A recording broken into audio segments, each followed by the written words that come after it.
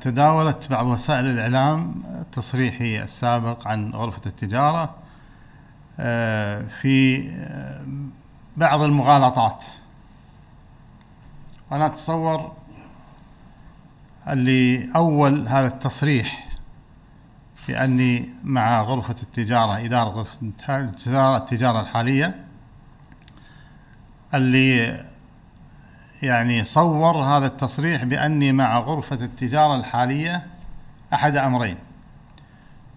إما أنه جاهل يجهل التصريح ولم يسمع التصريح كاملا أو أنه ممن يتربصون في الماء العكر ويتصيدون ويدلسون كما هو معلوم أن هناك بعض الإخباريات آه، دأبت على تضليل الشارع الكويتي لأهداف وأغراض هي أعلم بها. لذلك التوضيح مهم. وكم من عائب قولا صحيحا وآفته من الجهل السقيم. لذلك نحن نعيد التأكيد على مبدأنا القائم على معارضة هدم أي مؤسسة. مؤسسات سواء غرفة التجارة أو غيرها من المؤسسات. هذه مؤسسات عريقة آه، أسست في الكويت. إحنا عرضنا إلغاء هيئة القرآن وقلنا إذا الخلل في الإدارة تعد الإدارة. أيضا كان هناك خلل في صندوق المشاريع عدلت الإدارة لم تلغى هذه المؤسسات. نحن على هذا المبدأ. أننا ضد هدم أي مؤسسة لكن هناك تعديل. وتعديلنا لغرفة التجارة يكون في عدة أمور. منها تعديل التصويت أن يغير قانون الانتخاب في غرفة التجارة أنه يغير موضوع الرسوم. تعدل هذه الرسوم إلى رسوم رمزية جدا ليس ابتزازا. أيضا يمنع تدخل غرفة التجارة في مؤسسات الدولة.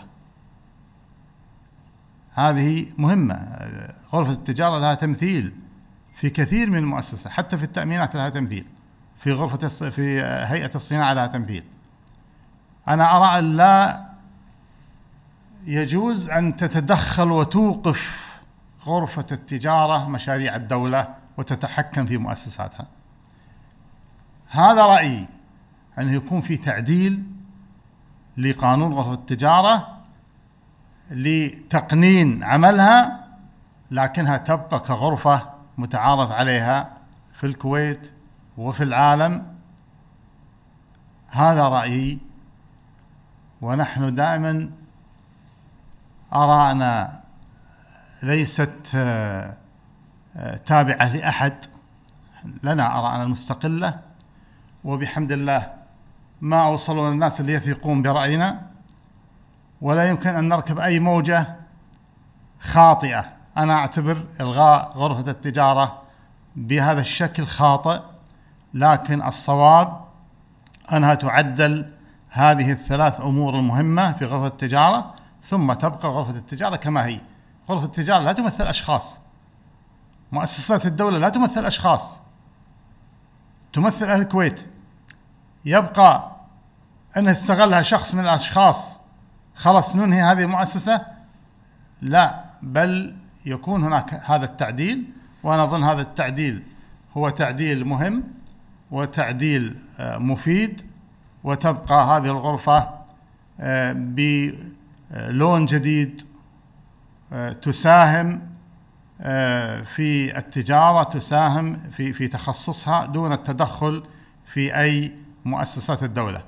لذلك اقتضى التوضيح لبعض من يثير هذه المغالطات و يتهمنا بأننا أصبحنا ندعم غرفة التجارة الحالية دون تمييز أو دون تركيز فيما ذكرناه.